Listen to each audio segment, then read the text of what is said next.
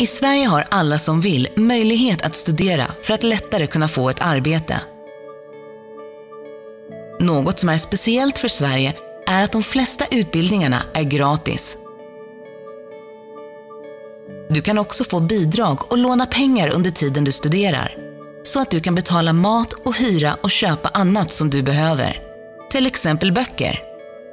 CSN är den myndighet i Sverige som har hand om de här bidragen och lånen. Ett uppdrag som vi haft i över 50 år.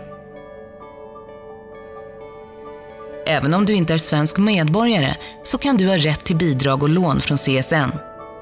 Sen finns det förstås villkor som behöver uppfyllas. Det kan du läsa mer om på csn.se.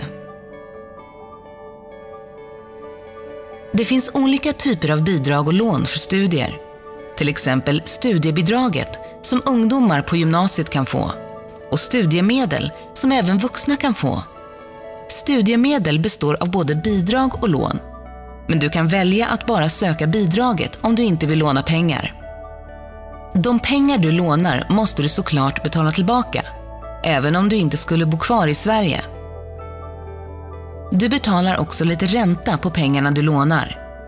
Pengarna som du betalar tillbaka används sen till att ge nya studerande möjlighet att studera. På csn.se kan du räkna ut ungefär hur mycket du kan låna och hur länge du ska betala tillbaka. Om du skulle få svårt att betala tillbaka kan det finnas möjlighet att betala lite mindre under en period. CSN har även hand om en del andra lån, till exempel hemutrustningslånet som är till för dig som är flykting. Det kan du söka för att kunna köpa möbler, kastruller och annan utrustning till ditt nya hem.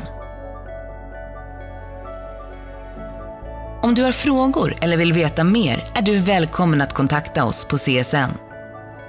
Hoppas du ska trivas i Sverige.